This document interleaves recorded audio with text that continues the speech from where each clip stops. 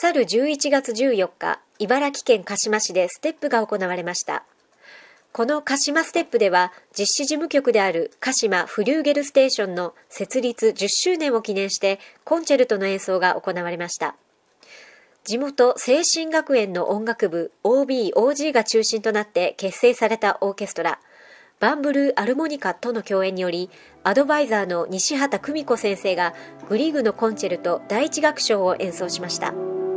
盛大な祝福行事となりました。